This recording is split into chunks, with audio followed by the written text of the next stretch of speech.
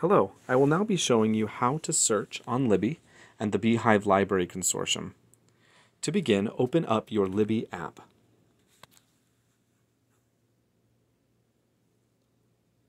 If you notice on the screen, there are five icons on the bottom. These will be your navigation icons to the various parts of Libby. Today we'll be focusing on the two on the left. The building on the left that looks like a library is the Beehive Library Consortium. This is where the library puts together a, um, a collection of different types of books. For example, Back to School, just added audiobooks, just added books. This is similar to when you walk into a library and you see a display. It's just kind of a place for browsing. You don't know exactly what you're looking for, but you're just kind of browsing different selections. There are various options here, so feel free to take a look and browse some of those. In the bottom left, there is a magnifying glass. This is for doing a specific search. In this case, I'm going to search for history. Now searching this in the Beehive Library Consortium, if you notice there are 4,000 audiobooks, 6,000 books, and 81 magazines with the keyword history in uh, the library.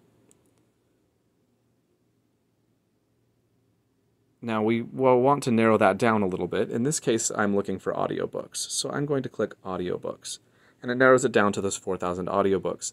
That's still a lot of different options. So you may consider putting in other keywords to narrow down your search, say history of the Vikings. Now here on the left as well, next to audiobooks, you see three lines. This is to narrow down your search more.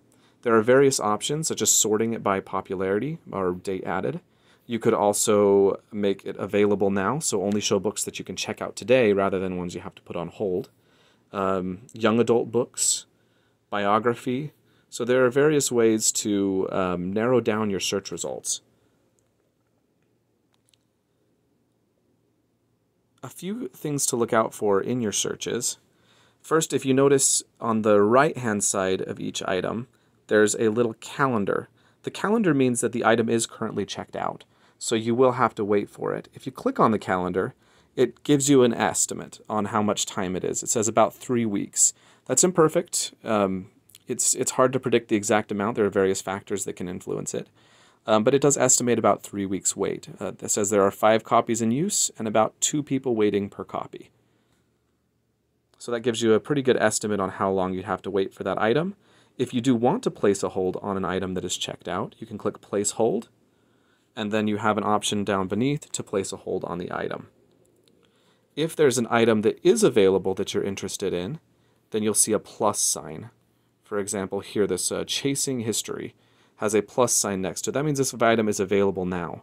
You can either click on the plus sign or borrow in order to check out the item. There are a few different options. If you click on the 14 days here, you can choose between 7, 14, or 21 days for your checkout. So I choose 21, and if I were to check out this item, I would click Borrow.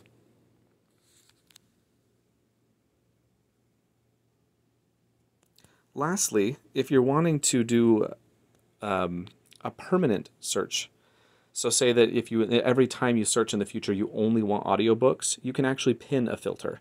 Since audiobooks is a filter here, I'm going to go ahead and click it again, and there's an option that says pin filter. Now, if I do more searches, so this time, say I'm searching for the Vikings. My search now remembers that I wanted audiobooks. And if you want in the future to look for ebooks, you'll need to then remove that filter. Um, and then it opens it up so that future searches will include more than just audiobooks. But it's a convenient way to narrow down future searches for those who are only interest in a specific format, specific language, etc.